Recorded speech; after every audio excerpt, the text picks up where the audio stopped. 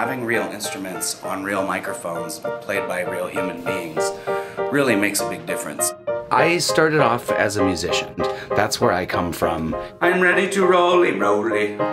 And then I grew into being a producer. We're just cracking the surface. Human flaws are more beautiful than human perfection.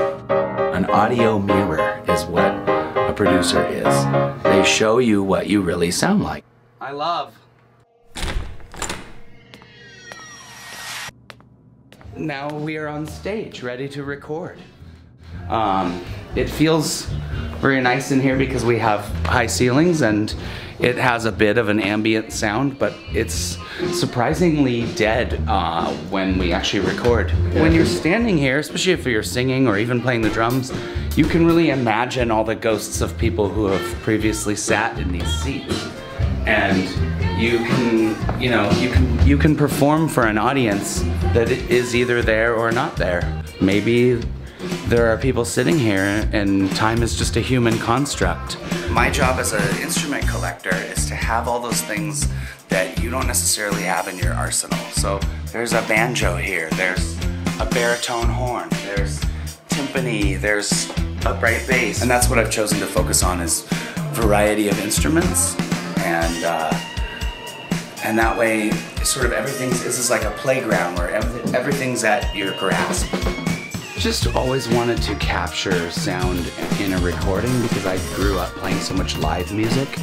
And so I always felt like when I got on stage or played at church or wherever it was that I was playing, that just you're it goes away and it's not there anymore once you're done. And I was I, I was always attracted to mm-hmm. recording and like preserving if yeah. you have a cool idea and then you can record it and and then now you have that idea and it's on tape. I get the endorphins from releasing material because that it's like as soon as it's released, then it's off of my plate, it's out of my brain. I don't have to ever think about it again. It's now belongs to the world and the world can decide what they want to do with it. Oh wow, we have a ton of different uh, Uh, we might need to track that.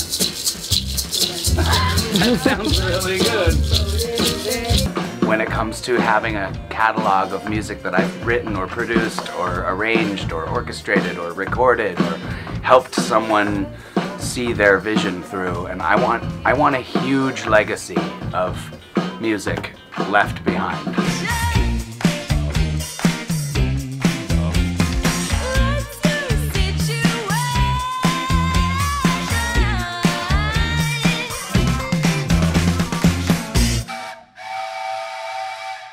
And that's it.